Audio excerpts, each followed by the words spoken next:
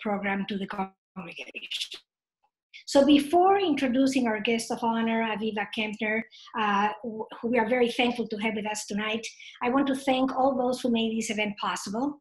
Lisa Rivo, co-director of the National Center of Jewish Film, Ken Hand, business manager at the Ciesla Foundation, our edu education director, Jack Mintzer, our executive director, Josh Cooper Ginsburg, and Rabbi Rafi Spitzer, who will be our moderator tonight. So now to Aviva Kempner. Uh, welcome uh, Aviva. Um, eh, Aviva is an American filmmaker who investigates and focuses on the untold stories of Jewish people.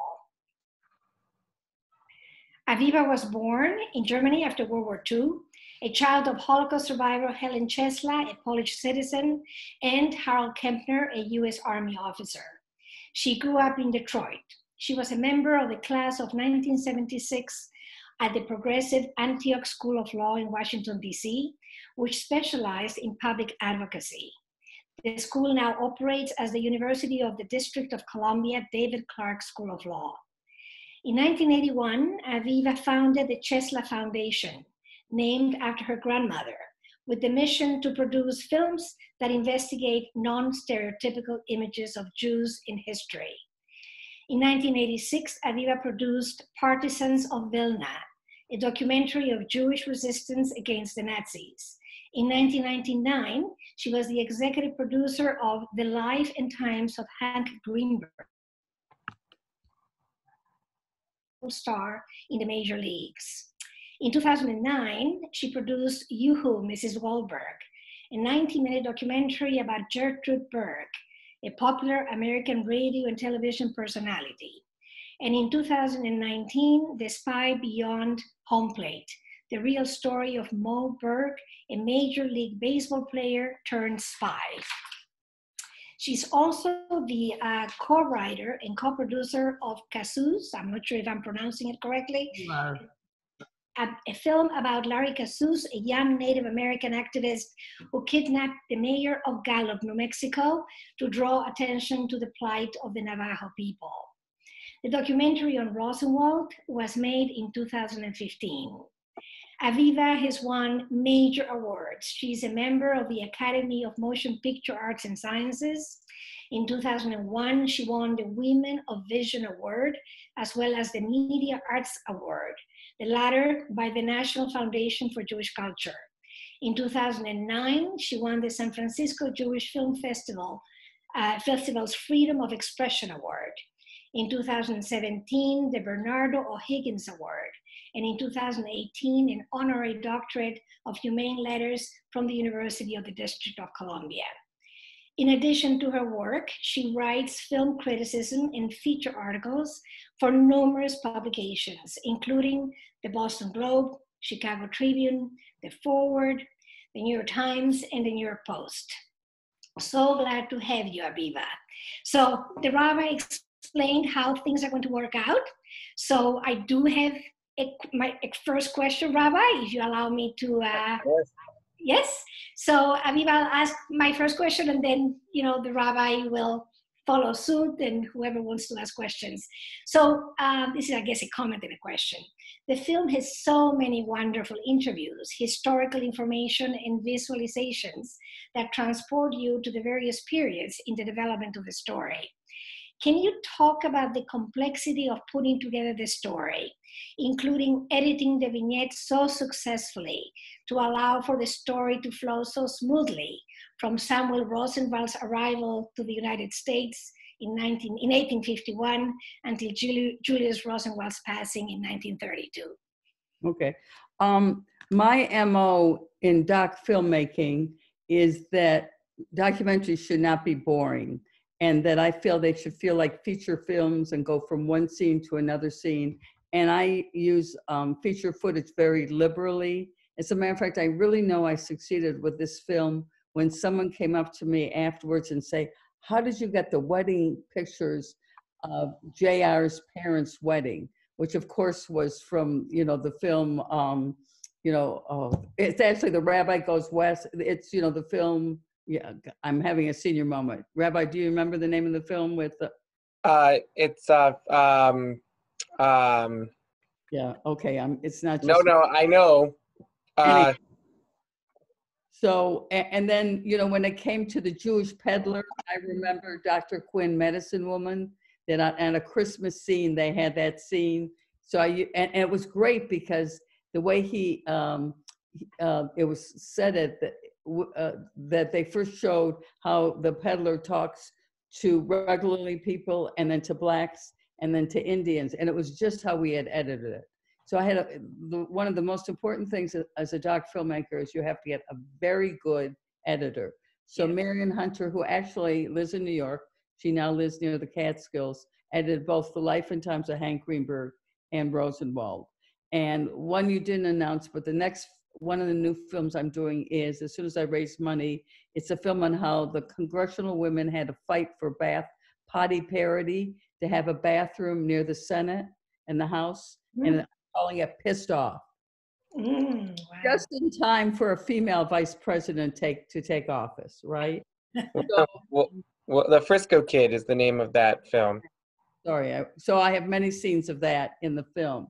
So I think it's real important. Now the other thing is sometimes you have to go to other sources. For instance, I did not shoot the interview with Maya Angelou. Um, Henry Hampton, who had done the wonderful uh, film series Eyes on the Prize, had that interview with her. And I mean, I love that scene when she talks about, you know, uh, the pride the, the Rosenwald parents took on their kids going to that school. I mean, it's it's worth a million dollars. So I'm really happy to uh, to have been able to get that. And then the, another thing that's very important in your team of people, I usually do all the research on the feature films, but just going through and getting the historical footage as much as we can. However, I work as a director in choosing the footage, but then as a producer, I've got to pay for it. So that's when a lot of the big expenses come. And another thing that we're trying to do is Rosenwald has not been streamed. This is an exception what we we we did for you, and now everything's streaming. So I I need to pay some final rights as soon as I raise money, uh, because there's still some rights I owe the streaming rights. I mean, it, it's a matter of that. And what's cute or not cute or not so cute, for instance, Dr. Quinn, Medicine Woman, the way I got that footage, I actually got it free because I was at a reception with Les Moonves, who was the head of CBS, although he had a little uh, Me Too problems.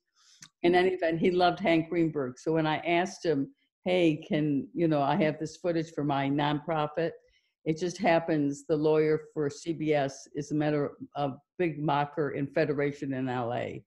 So a little bit of chutzpah, a little bit of contacts, and and a good cause. Um, you know, sometimes you in Hank in Moe Berg, it was even more because some people had shot interviews earlier. So uh, that's why I was able to get that footage because you know I think it's real important. You can animate stills, and actually a friend of mine whose family had come to West Virginia as uh, peddlers. I used, you know, wasn't exactly uh, J, uh, J. I call Rosenwald JR because that's what the family call him. Mhm, Also, mhm. uh, but I, we were able to get some stills that, you know, in terms of that. And of course, coming into Baltimore, again, that's from Frisco Kid. I did remember it five minutes later, but Yeah. It's fabulous. Rabbi, go ahead.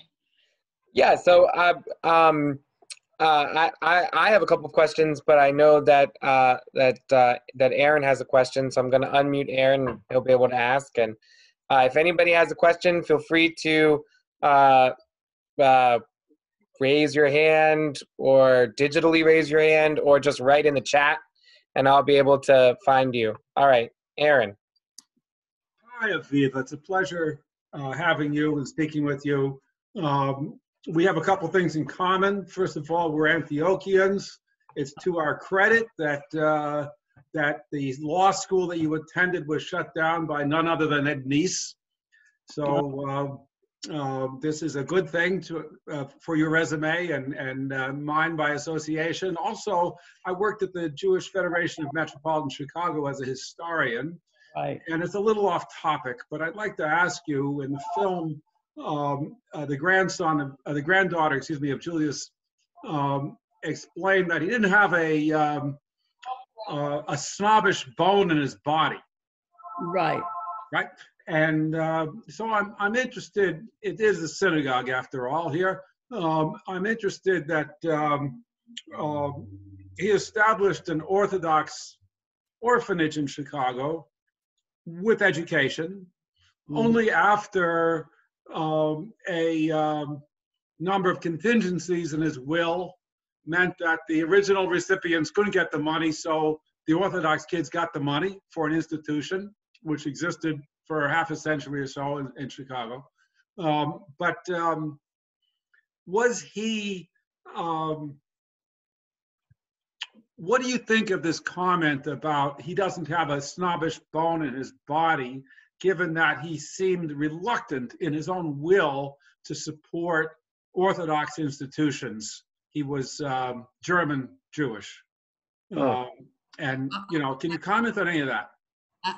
Okay, so you're taking, I think, one detail. My understand. Well, look at. I was inspired to make the film because I was on Martha's Vineyard and I heard Julian Bond talking with David Saperstein. David's a friend, and Julian Bond, the great civil rights leader. And on that particular talk, um, I thought I was going to, you know, it was about blacks and Jews. I was going to hear about the civil rights era.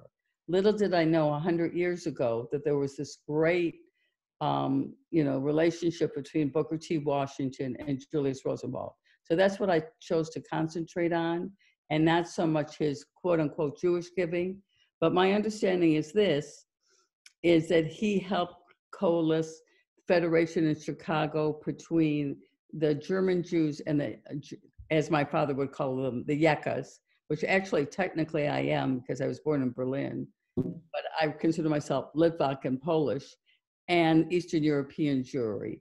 And he, I just can't tell you what happened with that particular orphanage. I can tell you that he was very supportive to Rabbi Hirsch, who was the Reform rabbi of the time. He, uh, you know, and Hirsch being one of the original signers of the NAACP, that Rosenwald gave a lot to that synagogue and the Museum of Science and Industry. Um, he did go to services. Now, it was interesting, services was, were on Sunday back then because um, a lot of the Jewish businessmen worked, and that was just what they did. And what was even more interesting, in the DVD, if people want to purchase that, they could just order it online. There is four and a half hours of bonus features. Hirsch was so, there's a whole one on Hirsch. He was so popular that non Jews would come, because this was before TV and even film, would come and hear him. And um, he also was very um, upfront about criticizing people. Like there was a man whose workers were really being, he thought, abused, and he, he called on. He also uh, started the um, synagogue where he lectured the young girls who were getting nose jobs. Something like, "You can change your noses, but not your Moses," was his big line. He also was very active in the beginning, uh, uh, the emphasis on Jewish uh, centers. Now, I grew up conservative, so I didn't grow up reform. So the whole thing of uh, a, is you're a reform or a conservative synagogue? Conservative. Right. So a whole thing of a choir and this and that, services in English. But certainly Julius Rosenwald was very proud about being Jewish and he took tzedakah li- literally. I mean, I often think of him even in these last weeks when I've been doing tasks like getting matzahs to hospitals for the doctors and Easter baskets and getting people to buy coupons and local restaurants we don't want to close down for the workers in our local um, uh, what do you call it, Safeway, you know, our local um, uh, grocery stores. So I think he's a great embodiment of tzedakah and also matching funds. He's the one that really developed the whole concept of matching funds. And you'll see people like Buffett and Gates really um, quote him and, and philanthropy schools, you know, literally, I mean, uh, if you're getting a degree in philanthropy, you're studying Julius Rosenwald. Yeah, I think that's uh, one of the parts of the film that really spoke to me a lot was the third, third, third aspect of how he he was like, yeah, I'm I'm just going to give you all of this money, but you have to match it in your community to create communal investment. That's like that changes him from a philanthropist to a visionary in my estimation. Like how could he have known that that would create that kind of like community response and community feel. And I felt like I could have watched another hour just on that that idea. Um, four and a half hours just by the DVD. No, seriously. I mean, there are so many things I didn't touch on. Just even how Sears developed. It was Amazon before it was Amazon. When he came in and the way they would do, they got free rural delivery and the way people in obscure areas and it was, you know, color free. I mean, it was just amazing. And you know what they did? For the Sears catalog, they purposely made it smaller than the other catalog. So it was on the top of your desk and that you would probably go order, you know, with them first. Um, he also did spending down, which is another theory in um, philanthropy where you want to be there to see where your money goes and then your, your foundation ends. And that's exactly it. But the most important thing he did, and that's why the film emphasized it so much, is the partnership with African American, both Southern communities, 5,000 schools. We're talking about 600,000 students, you know, everywhere from John Lewis to, you know, Eugene Robinson, that if you watch MSNBC, you see all the time. But these artisans like Jacob Lawrence and Augusta Savage, ones, I mean, I wish when I was that young and started filmmaking, well, actually, I, got, I did get a Guggenheim pretty young, because it turns out the head of Guggenheim at that time loved Hank Greenberg. But in any event, um, it's just so I think he's the basis of how the McCarthy Foundation, you know, supports something. He, he, I am so happy I've made this film because I say make films about underknown Jewish heroes, but he's the most underknown, and just the fact that he's now more known and emulated, I'm really proud about. yeah. And that's why Ford, Spielberg's Foundation, and Hewitt, uh, you know, we have bonus features and a free um, study guide. So you can order it from us. And now I'm raising some final money. Uh, if anyone wants tax deductions to be able to put it streaming, because there's still some rights I have to pay. It's never ending, but it's a good, when it ends, it's really good. Yeah, we we did uh, purchase the DVD for our synagogue, and we're hoping to use it in our in our school and uh, and uh, and and uh, and I think people. I mean, I will be really interested to see the the bonus features now. Now that I've gotten started, I I think that would be great. Does anyone have a question? Just raise your hand. Uh, Mary. Uh, yes, what prompted you to produce Rosenwald? And since 2015, how many people do you think have seen the film? Because to me, this is a film that the whole world should see. So, Um, like I said, I was on the vineyard and I attended a lecture because I know David Saperstein, who is one of the you know great. Cons- don't you agree, uh, uh, rabbis? He's he, w- he used to be in the RAC here in Washington, and now he's with the World Association of Rabbis. And David Yeah. was Julian Bond, who I always admired. Julian Bond's father and uncle had both gotten Rosenwald grants. And the minute I heard about his story, I said, "That's what I have to do." Because I grew up in Detroit. I grew up little after I didn't go down south the civil rights era era, but I, I went to a all city uh, biracial by income a Cass Tech. I always say Lily Tomlin and Diana Ross and I went to the same high school, but they're older than me. And I always wanted to do something about the civil rights era, but in a, in a different kind of way. I might mention though, Booker T. Washington was very smart because on one hand, um, JR, you know, said, okay, we'll build these schools. And, you know, Sears has these uh, Sears like kits, and we'll just use that. And Booker T said, no, if the community is going to give a third, it's us building it. And that is such a powerful thing that the state gave a third, that the fund gave the third, and they did. I mean, I think it's something they could use as a model today. And also with the, uh, you know, the wise, he gave half of it. So um, I don't know if any of you saw the film on Madam Walker.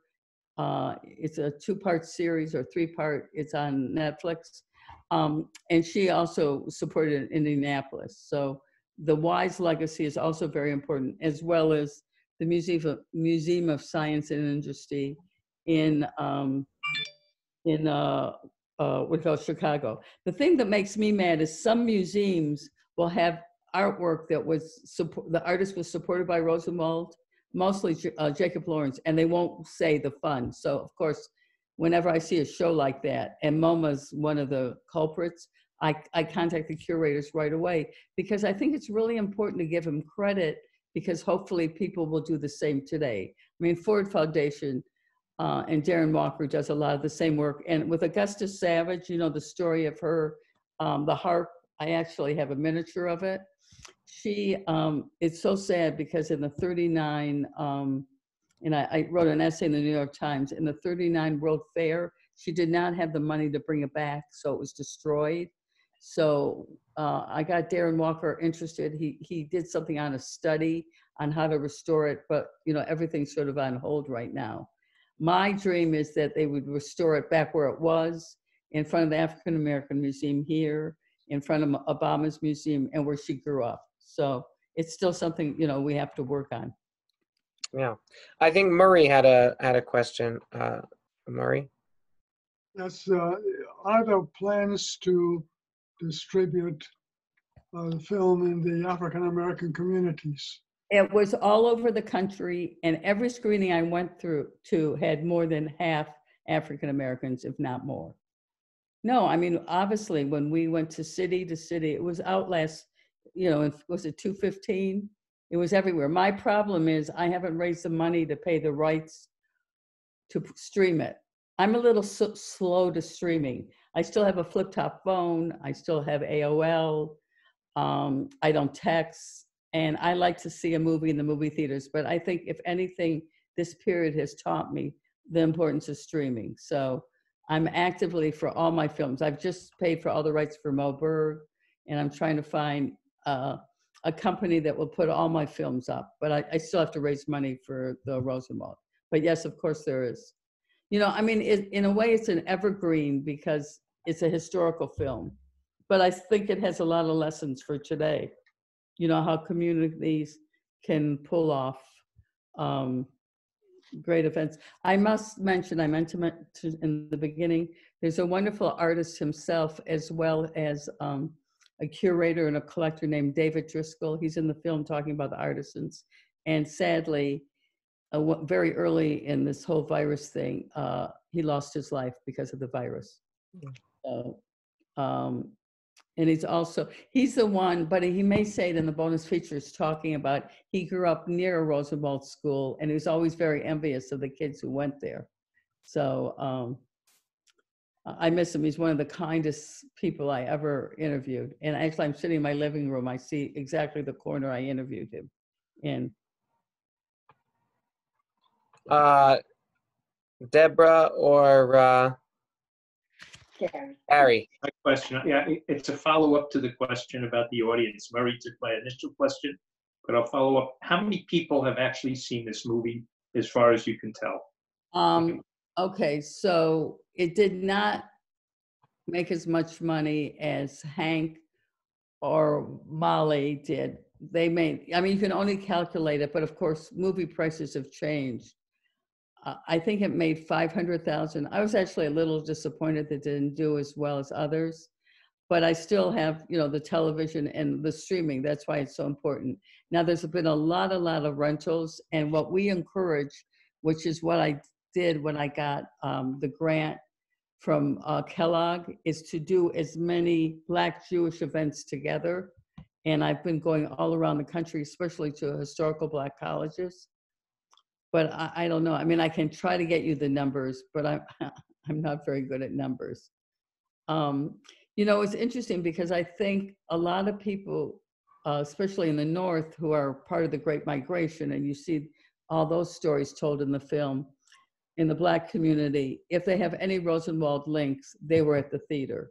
I think it was more a revelation for uh, Jewish Americans to see it, and I'm thrilled that it was you know and I, I, can remember one kid coming out saying now i know what i want to do with my life. I want to be a philanthropist. Nothing can be happier. So that's why you know I, I decided on my own that i got i've been keeping piles of papers of everyone you know oftentimes the new york times will focus on someone etc and I'm trying to get. Um, I mean, I actually asked Buffett for money, but it didn't go anywhere. But still, even to send it to them and say, "Hey, listen, this is a time we really have to respond. Look at this movie, and I think you'll be even more inspired." I mean, like the head of Ford, um, Darren Walker definitely knew who he was because he grew up in New Orleans. And, um, you know, Edith Stern, uh, Rosenwald's daughter, and actually there's a whole a section about her in the bonus features that Cokie Roberts talks about. Um, she was very important. She started the African American College um, in uh, in New Orleans, et cetera, et cetera. Uh, did you have a question? No one's asking me how I got Clint Eastwood speaking Yiddish. Uh, yeah, it's on uh, uh, a similar thing. We've been to both in uh, our JCC here and in Florida, a lot of Jewish film festivals, and most of the films we've seen were not this good. Oh, Uh, and, and that's what I was wondering. How do you get? I have that ready. And do they do they pay? Is that a source of revenue? Let me tell you. Do you know? I when did when was lockdown? Early March. Yeah. Seven talks. I was supposed to be in Syracuse, New Jersey, two more in New Jersey, uh, Maine. I mean, I I've done for a year now the whole circuit of travel. Of course, it was also speaking gigs, but uh, and I actually canceled on them earlier than they on me because I said I'm 73. I'm not getting on a plane, and I was also coughing then um, but uh, just my winter cold. So yes, we do. I mean, there's, uh, I, I'm really happy that I started the Jewish Film Festival here. So for me, it's really important to to give good material. And then you know, in the cities, I also encourage them to get as many people from the African American community out to see the film. So yes, but the Clint Eastwood was. Um, you know, I knew that his father had been a peddler. So I was looking at all the old movies, and there was a scene in Bonanza. But I don't know if you remember Bonanza, but the background was fake and I didn't like it. So I'm sitting there, and there's Rawhide, and there's Clint Eastwood speaking Yiddish. And my late father, who never saw any of my films, he died last week uh, in 76. And I, I just like flipped when I saw it and I knew I had to see it. And actually, Shelley Berman, who played the one who says Shema, was it Shema, Shamil? I can't remember what Yiddish word, uh, was in the audience in my LA. And I asked his daughter, well, can Shelley talk about it? Well, he, unfortunately, he was, his mind was not in good form. So I didn't get him to actually tell the story. But as I, I'm debating what I want on my grave site. It's because Hank Greenberg is she made men cry because I had more men coming out the life and times of Hank Greenberg crying, or for Rosenwald said, you know, she had Clint Eastwood speaking Yiddish. I'm I'm teasing about that, but Uh, uh, Barry or Mark, did one of you have a question? I saw you. Uh, no. Okay. and by the way, you see Barbara Bowman in the film uh, talking about the Michigan Garden Apartments because her father, uh, Taylor, was the one who um, ran it. She's actually Valerie Jarrett's mother. So there's a lot of yichus, you know, in ter- and Jeh Johnson, who was formerly our home security under Obama, his uh, grandfather was part of the intellectuals that was uh, active in the fund. Oh. Uh, Jessica. How closely did you work with Stephanie Deutsch? Oh, very. She's one of the advisors. She was great help. Yeah. And, you know, she lives in Washington. So we've done a lot of talks together. She's the one who wrote the book. Yeah, she did as well as Peter did. I mean, I'm very, lucky. I have this new film and I don't think there's any relatives. Every other film, every other profile with Hank Greenberg, I had the son, I had, you know, son, the daughter. With um, the Goldbergs, I had several grandchildren. As you see in Rosenwald, with Moe Berg, I have a cou- two cousins, and I'm now doing Ben Hecht, the same funder of um, Mo, uh, Moe Berg is funding Ben Hecht. Do you all know who Ben Hecht was? A very uh, pro, um, colorful, I'll put it, uh, newspaper man, and then a great writer who did any everything from like the final script for uh, Gone with the Wind, Front Page, Girl Friday. Uh, but he got involved with the Bergson Group and did everything he could once we knew uh, the two million Jews had been killed in Europe to try to get more Jews into Europe and then to get Jews into Palestine. Another great unsung hero. So I spend all day long watching Hollywood movies. So that's my shutdown right now. And then trying to raise money for my other films, you know, including Pissed Off. And then there's a Native American mascotting going on movie too. Uh, Karen, or did you have a question? Yes. Yeah. Uh, why was the foundation ended in 1948? Because he believed in the theory of spending down, that it shouldn't be a burden for his relatives, and that after he's gone, all its purposes should end. It was just something he believed in, and a lot of foundations follow that. Like Avichai, Avichai also did that. Oh, did he? Yeah. But the most, uh, what I have to write about as slowly Sears is about to die is that he really was, um, uh, what do you call it? He was Amazon way before Amazon. Even the way they delivered it, they had guys on ice skate, uh, excuse me, roller skates going from location. It was like an assembly line. That's crazy. It's awesome. Uh, Deborah or Gary? Did Yeah, the, I have another question. The housing complex that he built uh, seemed to be unique at the time, but it also seemed to be the similar model used in, at least in New York City housing projects that took off later on for similarly situated, situated uh, economic uh, people. Was that the first of its kind? I, I, because I grew up in a housing project and it Yeah. just sounded remarkably similar. The flagpole, the women sitting around, you know, watching each other's kids. Right. And what's great about it is there's a very, um, what do you call it, devoted and strong alderwoman um, in that particular area where it's located because it, it went in total disrepair. It was actually used as a scene for a horror movie. And uh, Pat Dowell, I think that's her name, got funding together and they partnered with a commercial group it has now been totally restored. I think it's called the Rosenwald Flats. And when you walk in, there's the poster of my film, which also you can get a poster or a T-shirt or a hat. I think I have a hat, but certainly, oh, that's what I should. I should have worn my Rosenwald T-shirt. Um, so it's very exciting, and it's a mixed use. People rent and people on stipends. So it's a, a great example of a housing. They did a really beautiful job, and the way it was built. You know, Rosenwald. I, my joke was whenever he went to Europe, he would come back with an idea what to build in Chicago, which is true of the museum and also that housing.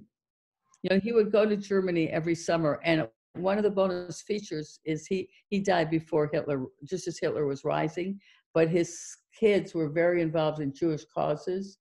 And one of the things they did was bring 300 members of their family to America out of Germany.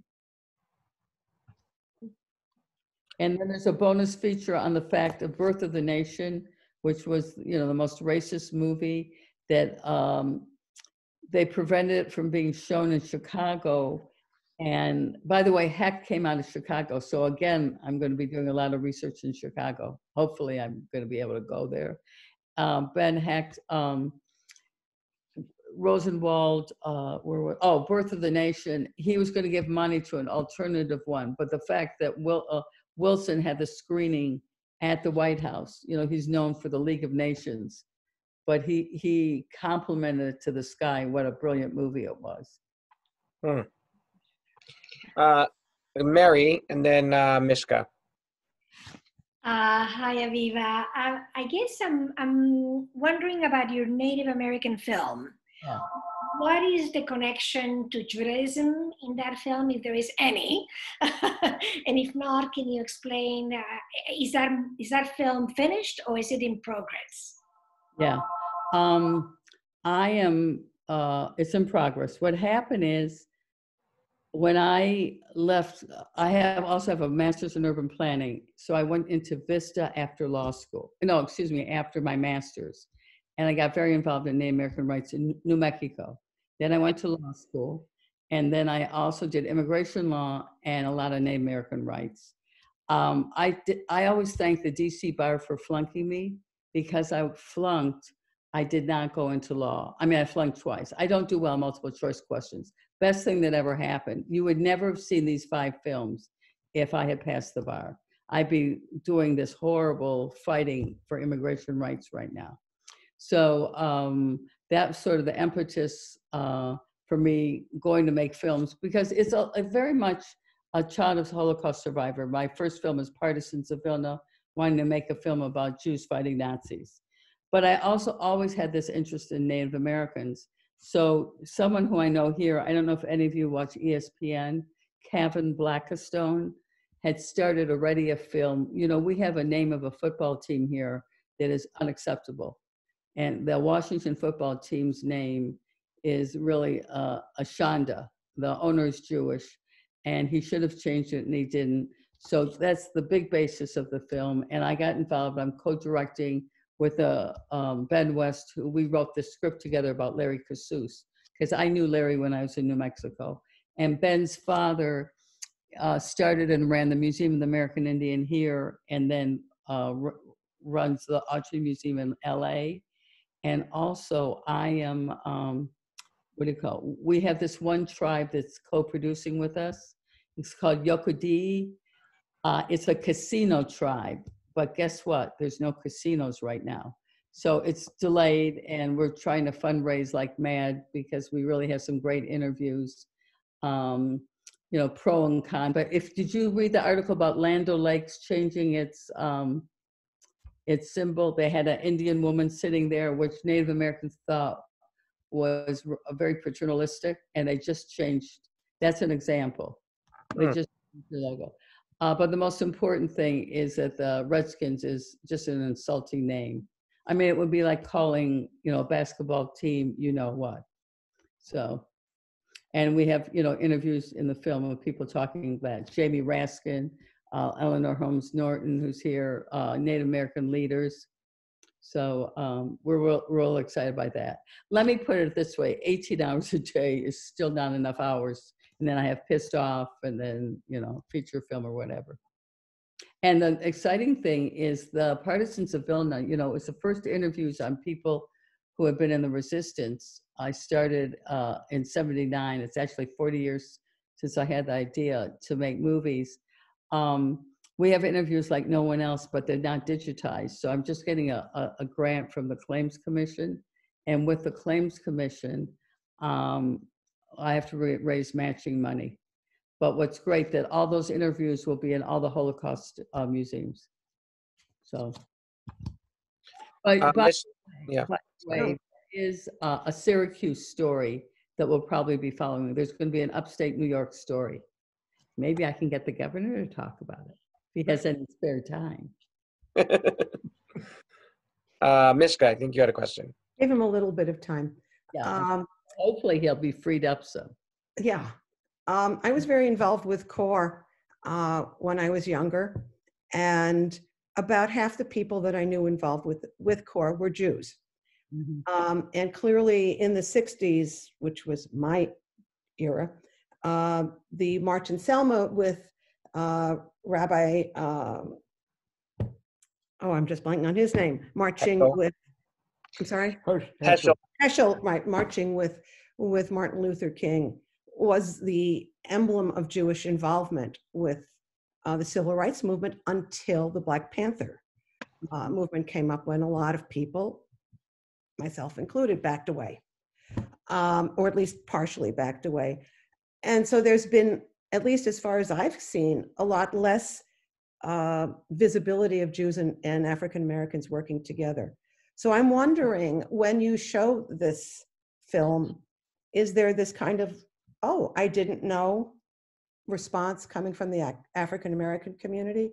Uh, Like I say, usually who's coming are people who, I mean, I've had testimonies, people get up, I went to a Rosenwald school, or my mother did, or my father. So there's a lot of descendants, people usually from the South that made up the Great Migration, or if I'm in the South, are from the South. So, uh, but yeah, for a lot of young ones, there's a revelation. Um, look at, I went to University of Michigan at the height of the Black Action Movement. Yeah, did being at meetings and they said, please, all the white people leave. I think that's something that they needed to do together. I totally understood it. Um, and, you know, I still think that there's a great bond between the African American and the, and the Jewish communities. And I feel that affinity very strongly. And I, you know, it's one of the things, my father was funny. I mean, it's not so funny. He used to have a ladder. He used to say, Aviva, the Jews have suffered the most, then the Armenians and the blacks. So, and actually, I've always wanted to make a film about the Armenian massacre or the fact that I think the greatest book ever written, 40 Days of Musa Dagh, was not, um, what do you call it? Uh, was not allowed to be making a movie in Hollywood because the Turks influenced Hollywood not to make the movie. I mean, Tur- the Turkish government not wanting to tell the true story of what happened to the Armenians really influenced artistically. But I've never been able to raise the money for that. So, um, you know, there are tensions between Jews and blacks. And I think a lot of it has to do with the fact that there's oftentimes Jewish landlords that may be unscrupulous or just tensions in the community. But I think there's as much solidarity as any. So, and I'm just hoping, and I think this film has contributed to the latter. Can you say a little more about the Tuskegee School? Like, uh, just how the connection between Rosenwald and Tuskegee, and how that, like, how that, uh, how that relationship grew, and uh, Eleanor Roosevelt. That that part of the move, the movie, I just like, wow. Well, it's funny you say that, Rabbi, because when I started this film, every one of my movies has something about World War II. So I thought, okay, Rosenwald, 19, you know, turn of the century. There's not, there's not going to be anything. And then there's this incredible story about the Tu- Tuskegee Airmen. Yeah. one paid for the field. Um, it, it was Booker T. Washington. You know, in the Black community, Booker T. Washington is often vilified for being too Uncle Tom or just emphasizing um, learning any skills, where Du Bois is, um, you know, the, the, the, the top leading the, I forgot what his theory is. And I never quite understood it until I visited uh, Du Bois' home in, I think it's Massachusetts. And he's up there in the north, you know, and he was always a free man, where Booker T. Washington had been a slave. And I always say, I mean, I'm not going to get in the middle of the argument, and it was exactly what JR did. They were both right. It was just both ways of, you know, dealing with the problem. And uh, I also say if Booker T. Washington was only fundraising, I would have finished the film even earlier. I mean, he had incredible fundraising skills and he knew how to get um, people involved. And what he did is he had the Rosenwald family come down. I always thought if there'd be a feature film, you have to have a scene where Rabbi Hirsch is coming with the Rosenwald family coming out. And, you know, Rosenwald loved hearing the Gospels. I mean, that's, you know, they just put on a great show. Oftentimes I, I'm playing that music. And um, it- it's also very uplifting. So in any event, um, once he came down there, he was suckered in to be on the Tuskegee board. And they've always had uh, non African Americans on their board. And then he, um, he, you know, when he turned 50, he said to Booker T, you know, what do you want? And Booker T said, we need five, you know, I, Tuskegee, I've got it down for once they make it to college. But earlier, these Southern schools, I mean, the neglect was awful. You know, they had to walk to school, there were horrible, dilapidated buildings, no uh, books, etc. And he, so he said, what can I do? And he said, would you please um, build, uh, what do you call it? Five schools. And from five, it was 10. And it just morphed it. You know, when there's a need, he filled it.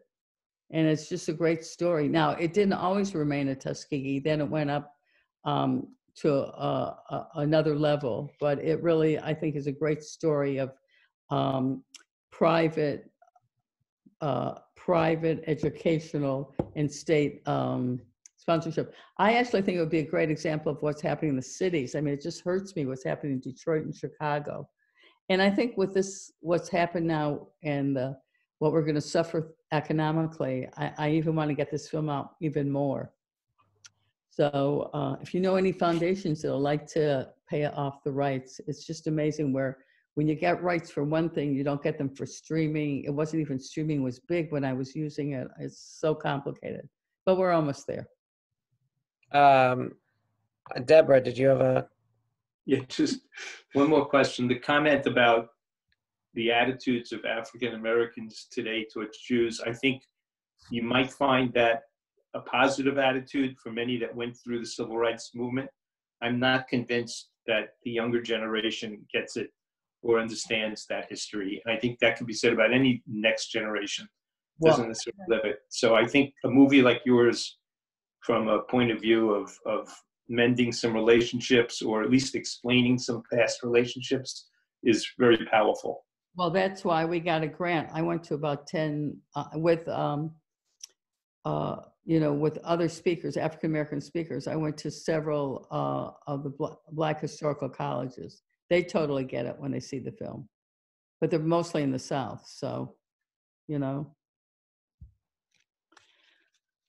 So, um, you know, it, it's interesting because I'm sitting here, thanks to my uncle who survived Auschwitz, gave my brother and I very, very big um, inheritances because they had bought my, my mother and my stepfather a house. So I'm sitting here in a very comfortable house. My staff isn't coming in. And then I think we're, you know, poor people in the situation they're living in, they're really risking their lives and they're getting the virus by either their jobs or the housing. So, you know, I think this whole period is making, I was not a Bernie Sanders person, but I think there's some at all, because, a lot because he never owned up the fact he was Jewish. That's another whole discussion. But I think this whole period makes us really think about the haves and the haves not and how we have to make some changes. So, you know, and how important education is. I mean, that's why I love Maya Angelou's thing. You know, look at Johnny, he got an A. Isn't that great, Johnny? Or what George Wolfe says. He is one of the most important uh, uh, play directors in, in on Broadway. And he came out of a, a Rosenwald school because of the pride of his mother and his aunt. And there's even a whole bonus feature on him. And it was all about instilling them, you know, basically, and it's not just in the Black community, it's Wayne in general. And we as Jews know education, education, education, which I think is the secondary thing about the film. I also love at the point where Rosenwald says, now people think because you're very successful, you're smart. Yeah. No, I think it's because you're lucky. I get Yeah. more laughs because of that, and you know why too. And I think it's that modesty that just, I just am so proud I was able to make the film. And it's because I walked in that one day, you know, on the vineyard. I think almost all my films are shared films, except for Hank Greenberg, because my daddy loved him. And the day he died, I mean, uh, Hank Greenberg died, I knew I had to do the film. So, I just have a comment on the film. Uh, I saw it three times, Aviva, and I loved it each time. Uh, but you cover how how Jr. Uh, is gets interested in the Black community, and that is he reads two books all right. given to given to him by uh, Paul Sachs, I believe, from Goldman Sachs, right? Uh, and one is Up from Slavery by Booker T. Washington, right? I forgot to mention. I mean, books could really uh, have a big. I mean, I remember when I was young reading autobiography of Malcolm X, and his whole chapter about how blacks would would iron their hair. You can see my crazy hair day, and you know you don't think about these things because they're not your experiences. But when you read about them, you feel an emph- an empathy that you might not know you have. You know, and I, you know, also my own father was the first. Briefly, he ran a real estate company. He was the first one to hire an African American real estate person in his firm, and then he ran small business development in the war of poverty. So a lot of it I got at home. You know, the importance of tzedakah and compassion and empathy for, for the other. So what can I say? I'm glad it, it all works for you.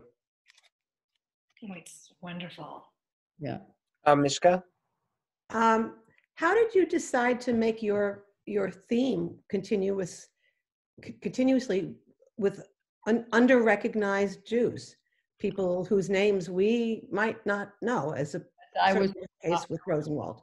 because I think that's what I was put on this earth to do. I, I believe like Elijah. I, I I just believe in besharedness.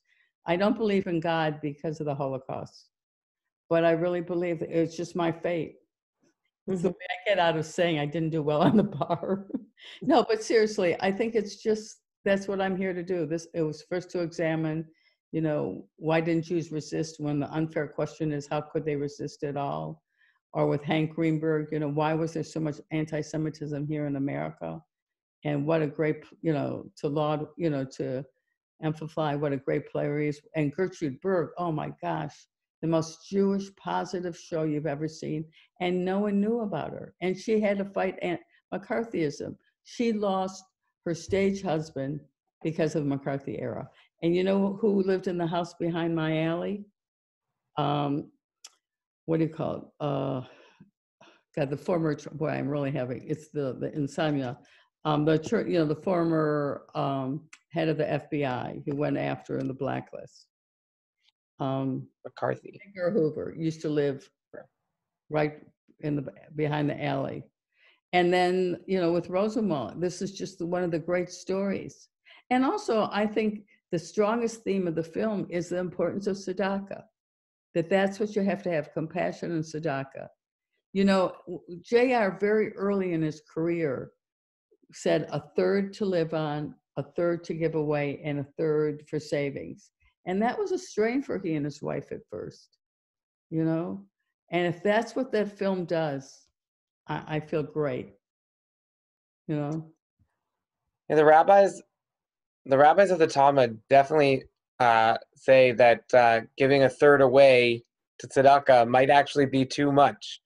But I don't think they were imagining folks who had the kind of wealth that JR ended up having. Having, you know, like they they they said, you know, twenty percent. That's that's enough. But I don't think they were imagining, you know, somebody who owned Sears. Yeah. Yeah. Uh, any other uh, people who haven't said anything but have just been listening? Do you have any questions? And if you look like Gates now and Buffett, the whole group of them are just, you know, giving the rest of their money away. And uh, what's interesting to me though is Jobs never gave any money away, but his wife's, ta- his widow is taking care of that. You know. So, Yeah, it's so if, I mean, you all should do another program, you know, rent, uh, has everyone seen The Life and Times of Hank Greenberg? not yet.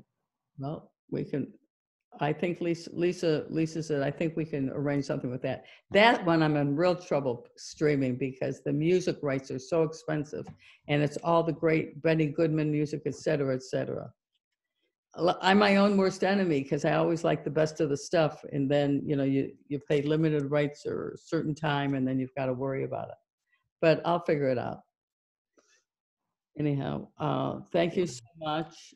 Um, Oh, uh, we have one more question. Uh, uh, Jessica? Not a question, it's just a comment. I was very touched by the, by the fact that you used the, the, the African-American anthem. Yeah. That, that, al- that, that always moves me when I hear that. You know, if you wait one minute, I'm going to show you the Augusta Savage statue because that's what it's based on. One sec. I mean, the miniature of it.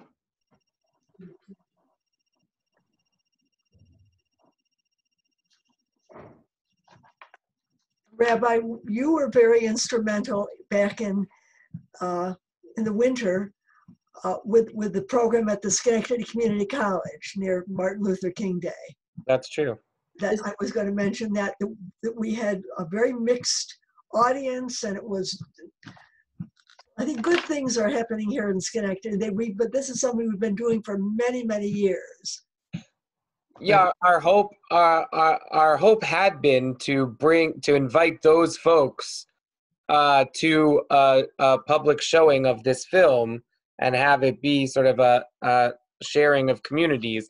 But then all of the, uh, all of this happened and we ended up deciding to do it a virtual showing, which I think has been really, this has been really, really wonderful. Uh, Aviva, show us that, uh, He, she called it the harp. Can you imagine? She didn't have the money to bring it anywhere, so it got destroyed. This is a miniature, but I bought it at auction. So hopefully it'll be replicated one day. yeah. And on the bonus features, there's more details about her life. Because she's a very important teacher in Harlem. Thank you. Yeah. And, uh, So I say, forgot Sorry? it says, stay safe, stay safe. You too. Thank I you. just wanted to say from the bottom of my heart, thank you so much uh, for being with us and for uh, for agreeing to this uh, unusual venue, although more and more usual uh, in our particular times. But uh, um, and for making this film so that we could all learn uh, learn this story. And uh, I know, speaking for myself, I was really, really moved. Great. And, and I don't know if you all are watching, but I'm going to go watch right now, uh, World on Fire on PBS. It's a, another World War II thing. Uh, you know what? you should- Thanks so much, Mary, but you should order, we'll send it to you, uh, the, the study guide that goes with the bonus. Yes, that would be wonderful. Yes. And I want to thank you, Aviva, really for agreeing to do this. This was wonderful. And uh, we are very happy that we brought your film and we may bring more. So thank you so much for your kindness and your generosity. Okay, my Yeah. pleasure. Mary, thank you for setting this up. Adios. Yeah, thank you, Mary. Wonderful job. Ashim John. Good luck. Okay, thanks. Thank you. I think we all need it. So much. Yes. Thank you. Don't go to- Don't, don't go out yet until we really know we can, okay? Well, thank you. Thank you for Thank caring. you. too. Thanks very much. Thank you. Bye-bye. Bye-bye. Sure, bye. Rabbi. Thank you. Good night. Thank you. Thank Thank you. you, Mary, for. Mm-hmm. Well, that was organizing wonderful. It And was, I- it was. Thank you. I just, yeah, uh, again, thank you so much to Mary and the whole adult uh, education team for putting this together. Yes. Thank you so much, Rabbi. Thanks. Mary did the, hi- the heavy lifting. I love you. With the help of Lisa Revo and everybody else, you know, they really, they had never done a streaming like that.